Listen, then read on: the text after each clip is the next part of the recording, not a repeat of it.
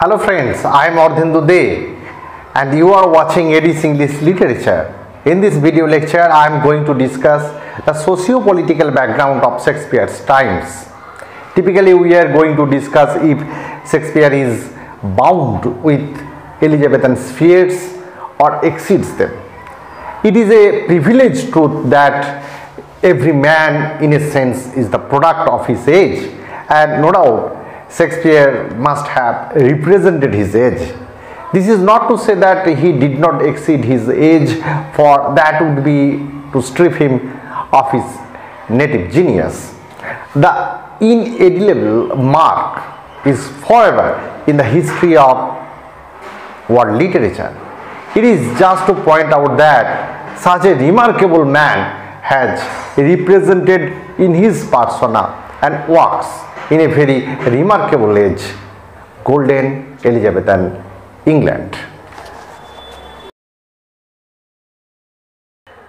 Queen Elizabeth, after whom the age in England is known as Elizabethan age, was another remarkable personality, and so too was Sir Walter Raleigh, the soldier, scholar, statesman, a symbol of Elizabethan Renaissance, and resembling in his own way Leonardo da Vinci, the symbol and spirit of Italian Renaissance. We may here refer further, uh, perhaps uh, profitably, to Shakespeare's ideal of a Renaissance man in the Prince of Denmark Hamlet and all these personalities, physical or fictive, who may offer us important clues to the social and political ferment of the age in which Shakespeare lived and wrote. While a reference to uncommon men and women of the age will lead us important insight into the socio-political background of the times, particularly the political side of the story, which was mostly enacted at the royal court encircled by the rising aristocracy, it would be unjust to forget the role of the common people of England. Those men at the pits in an Elizabethan theatre hall molding the attitude and tastes of the time. At least they were taken care of by Shakespeare himself in his plays and in his working life. In fact, all of the Elizabethan audience were prepared to listen those dramas. And when we are reading dramas, after so many days, we must read the very, uh, uh, the very pulse of the Elizabethan people. While Elizabeth I firmly established on the English throne, the Church of England grew into a national Protestant institution with allegiance to the monarch. The religious break with Roman was complete, although it was not a, a not a clean severance from the English past. However, the single development by itself meant an alteration in the balance of socio-political forces in England, which could not but affect decisively the different arts and ways of thoughts and habits. It was a thrilling age, pulsating with life and adventure in every walk of English life. The Queen had brought the church under her sway, vanquished the rival power of feudalism while the challenge of parliament lay in future to disturb James I. People in general wanted a strong government that could secure peace from external aggression of the Spain and prosperity at home after the bloody civil wars. In southern Europe, there was a general reawakening that made Europeans conscious of their glorious past that was Greece and Rome. The Greek and Roman classics began to be studied anew. A new interest was felt as a result of new bearing consequent to Renaissance for mathematics and astrology, which naturally led to much navigational adventures and we can find out so much of the uh, naval exploits. It took some time for the spirit of Renaissance which originated in Italy to travel north and then turn west into the source of Britain. But when it came into Elizabethan England, the ground was ready to receive it with open arms and the sowing was good and the harvesting still better. And who the harvester? The so-called Elizabethan um, great writers and notably Shakespeare is there. While the Renaissance awakened the interest in Greek and Roman classics, which first influenced the university men and then the artists of the various performing arts, particularly the drama, the native English tradition was never given a goodbye.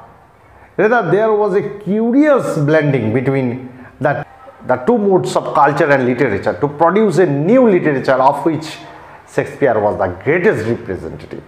It was Shakespeare who mirrored his age most perfectly and his plays truly reflect the political, the social and cultural upheavals of the times.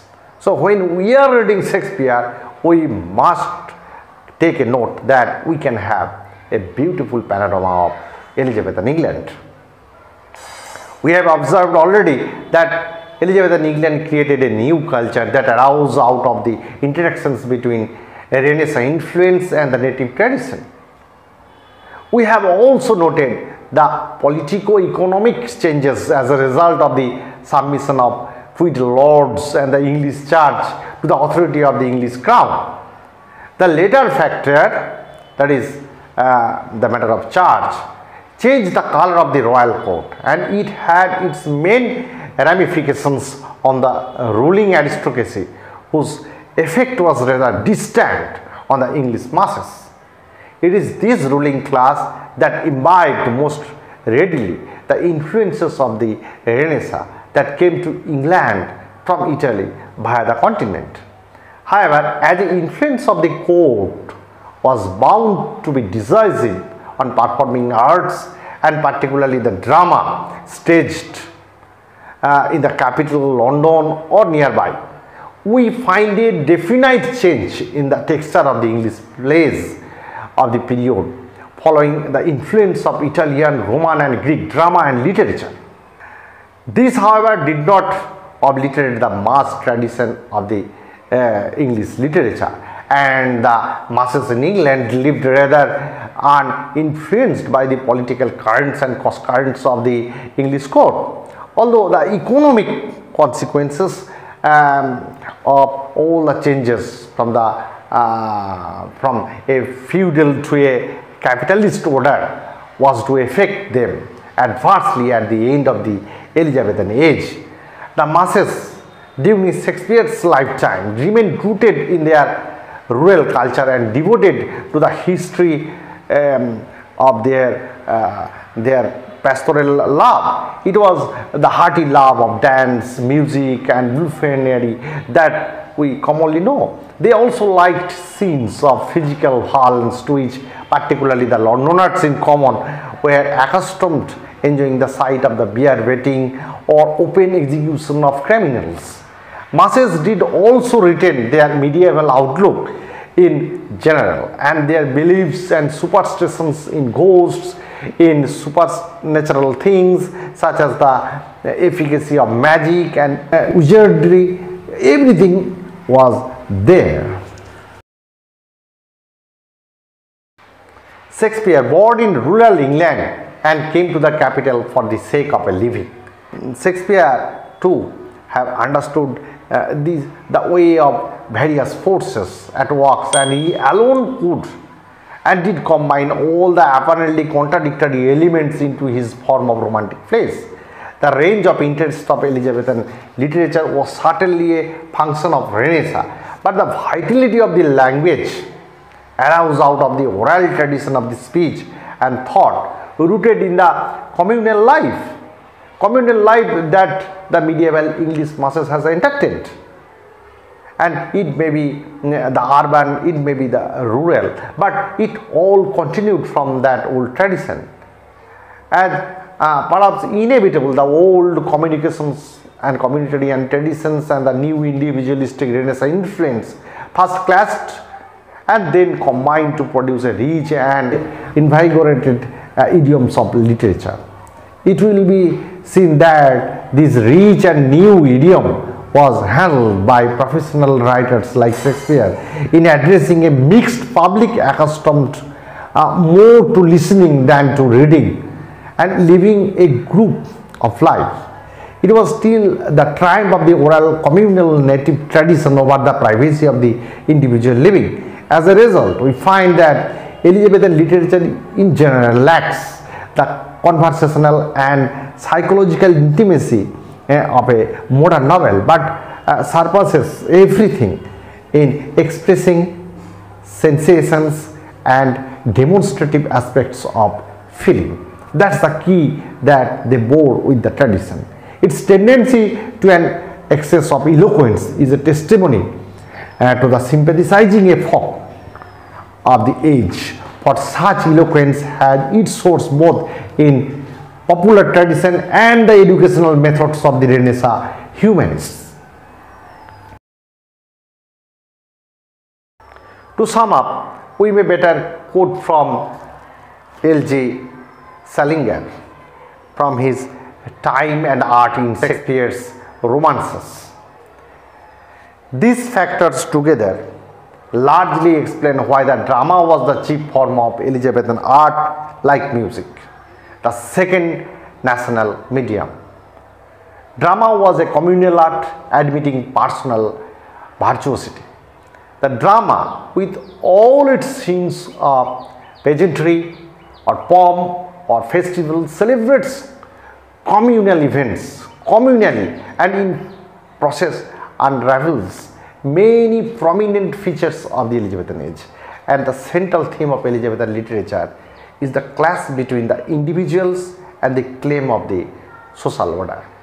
So with the understanding that Shakespeare, the man is the very product of Elizabethan age and the Elizabethan mass and the uh, and the tradition and the language that they are embedding is all projected or all exemplified in Shakespearean writings.